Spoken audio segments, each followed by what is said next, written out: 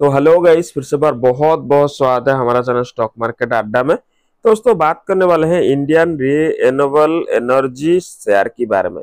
एक सौ में स्टॉक का प्राइस मिल रहा है। क्या स्टॉक को बाय करना चाहिए? क्या इसका फंडामेंटल नेक्स्ट टारगेट क्या रहेगा? फुल डिटेल्स में हम लोग बात करेंगे। वीडियो के साथ बने रहिए। चैनल पर नहीं हो तो बिल्कुल फ्री में चैनल को सब्सक्राइब कीजिए। ऐसे वीडियो आपको पर डे दोस्तों देखने के लिए मिल जाएगा हमारा चैनल में। मैक्सिमम चार पैटर्न में कंपनी सिक्सटी परसेंट की पॉजिटिव रिटर्न दिया है। ये कंपनी हाल ही फ़िलहाल में लिस्टिंग हुआ है बासठ रुपए करके दिसंबर एक 2023 में।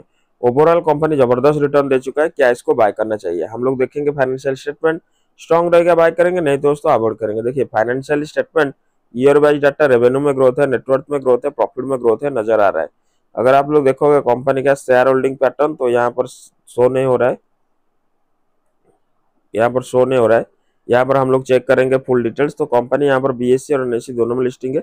सत्ताईस हज़ार करोड़ का मार्केट कैप रखा है। पी ठीक है बुक वैल्यू सोने हो रहा है।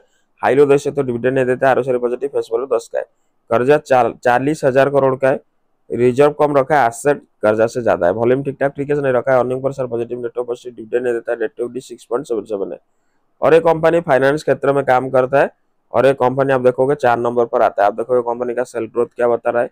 Sale growth positive profit growth positive season negative return और इक्विटी पॉजिटिव एसेट में दोस्तों हम लोग को ग्रोथ नज़र आ रहा है नेट कैश फ्लो पॉजिटिव तो ये सारा पैरामीटर को देखने के बाद लॉन्ग टर्म की नज़रिया लेकर आओगे, ये कंपनी आपको मल्टीवे का रिटर्न प्रोवाइड कर सकता है। तो होप करता हूँ इन्फॉर्मेशन आपको पसंद आएगी पसंद आएगी दोस्तों प्लीज़ वीडियो को लाइक कीजिए। चैनल को सब्सक्राइब कीजिए, मिलते हैं कोई नेक्स्ट इंटरेस्टिंग वीडियो में। तब तक के लिए जय हिंद, वंदे मातरम दोस्तों।